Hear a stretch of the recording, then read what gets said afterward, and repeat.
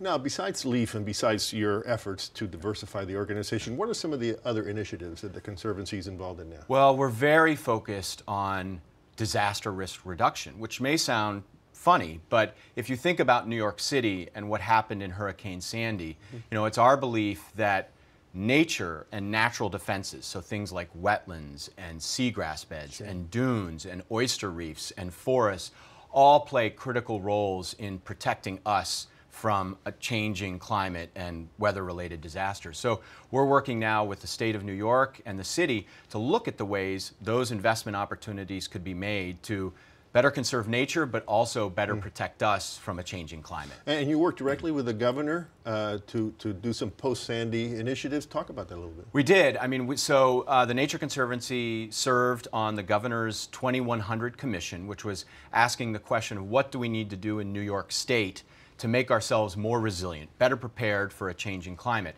And what we're very proud of and excited to see is that the governor recognized that nature and natural infrastructure and natural defenses are a key part of the solution. And you know, we're also encouraged, he's come out and he's now talking about a buyback program. So people who are in risky areas, mm. how might we use federal disaster relief funds to buy them out and then maybe put in dunes or wetlands or parks to make those areas more resilient in a climate changing world. All right, Bill. Thanks so much. Great to be here.